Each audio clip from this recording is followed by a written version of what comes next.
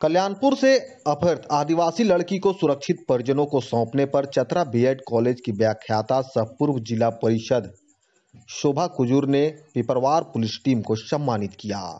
Team में शामिल पूर्व थाना प्रभारी नितेश कुमार दुबे, केस के आईओ एसआई कमलेश तिर्की और महिला कांस्टेबल जोशिता मिंग और अपराजिता मधु को बुक्के और पौधा देकर सम्मानित किया गया। इस अवसर पर उपस्थित लोगों ने पूर्व थाना प्रभारी नितेश कुमार दुबे को विदाई भी दी। वहीं कार्यवाहक थाना प्रभारी सर्किल इंस्पेक्टर मनोहर करमाली का स्वागत किया।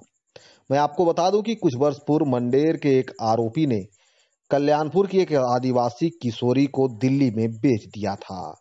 वहाँ उससे जबरन घर का काम कराया जाता था। बीते कोरोना काल में सूचना मिलने पर पिपरवार पुलिस ने दिल्ली जाकर उसे वापस लाया था। इस मौके पर संतोष राम, अब्दुल कुदुस राजेंद्र प्रसाद चंद्रवंशी समेत कई लोगों ने भी थाना प्रभारी को सम्मानित किया।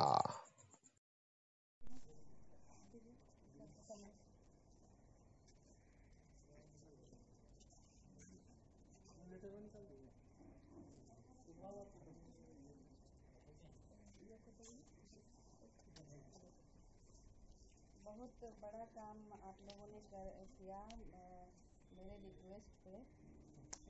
एक को आप लोगों ने लाया। और मैं एक चीज़ लाई हूँ आप लोगों को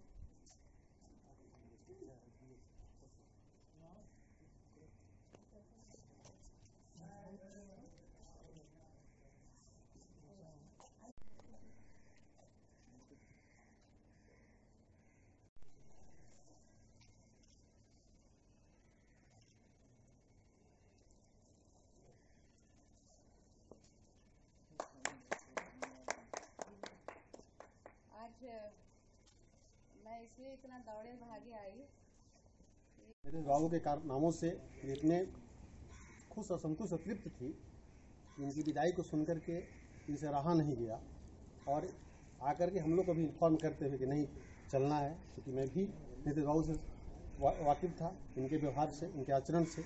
जिस प्रकार ये सेवा इन्होंने क्षेत्र में को दिया है जिस प्रकार लोग किसी भी समस्या का समाधान इन्होंने किया है वा, वा, वा, वास्तव में ये काबिल तारीफ़ है। और आज का जो कार्यक्रम इस निमित्त ही था इतना ही अगर मैं थाना प्रभारी पिपरवार, श्री नितेश दुबे दुबे जी का ट्रांसफ़र सुनकर मैं काफ़ी हतप्रत रह गई, क्योंकि इनके कार्यशैली से मैं काफ़ी प्रभावित थी। और इन्होंने जो अपने कार्यकाल में इतने अच्छे कार्य किए और जिसके कारण मैं हजारीबाग से चलकर आज पिपरवार थाना पहुँची हूँ, इनको सम्मानित करने के लिए। और मैं यहाँ के थाना प्रभारी और इंस्पेक्टर, एसआई और जसिंता दीदी, इन लोगों को वास्तव में ये रक्षाबंधन के हकदार हैं। मैंने इनको रक्षा सूत्र बांधकर लोगों की रक्षा इन्होंने की है। और एक बहन को लॉकडाउन के समय में दिल्ली से लेकर यहाँ सुरक्षित पहुँचाया है। मैं आप सभी का बहुत बहुत धन्यवाद करती हूँ।